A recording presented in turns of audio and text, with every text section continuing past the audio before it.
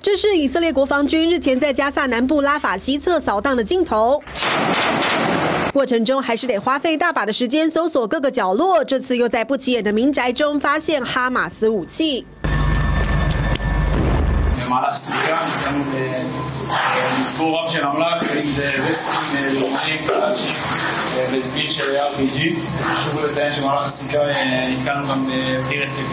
哈马斯成员在拉法四窜，有时还会在墙壁凿洞，方便移动穿梭。只是以色列明明聚焦拉法作战，却又突然在十六号宣布在该区实施每天十一小时的战术停火。不料消息才公布，以色列就爆出内讧。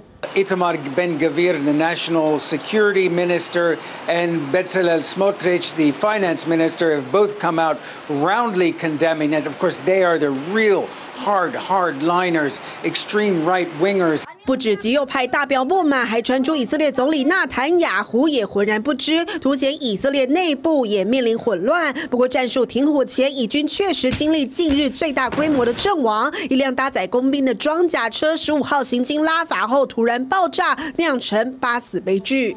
Hamas though has claimed responsibility, saying that that they. uh, targeted a military bulldozer in the area, uh, and when that was on fire, they also targeted an armoured personnel carrier uh, that was coming to rescue those uh, on board with a missile strike. 其中一名阵亡的以色列士兵年仅二十一岁，他的父亲在葬礼上说出令人心碎的悼词。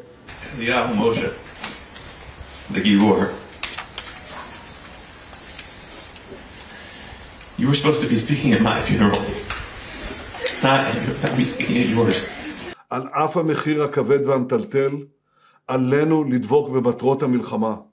以色列总理一面致哀，一面强调这场仗还是会继续下去。问题目前不止加萨，以军和北部黎巴嫩真主党的情势也逐渐升温。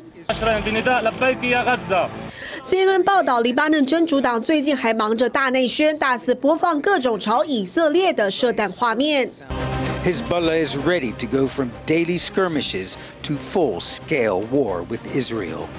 真主党语气超硬，也因为以哈战争以来，以军声称击毙超过三百名真主党成员。日前，真主党高阶指挥官之死也一举点燃真主党怒火。真主党军力比哈马斯强，并握有老大哥伊朗提供范围可涵盖台拉维夫的长城飞弹。真主党日前就在宣传片声称摧毁掉一个以军的铁穹发射器。It also says it has taken out an Iron Dome battery, the backbone of Israel's missile defenses, and has used ground to air missiles to shoot down three top of the line Hermes 900 drones.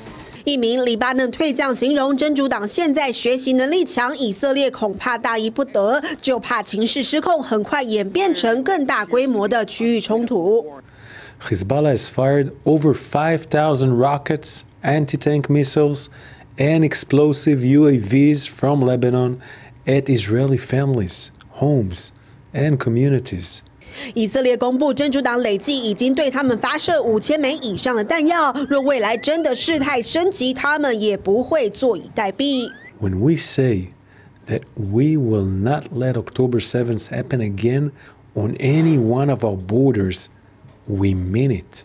而伦敦智库则分析，不论哈马斯还是真主党这类组织，最终盘算的还是自己，而非人民。Sinwar is doing. He has three objectives: his personal survival, the survival of Hamas, um, as well as uh, elevating the issue of uh, Palestine back on the international stage. He has succeeded in elevating the issue of Palestine for now, but to guarantee those three goals to move forward, he also needs a permanent ceasefire.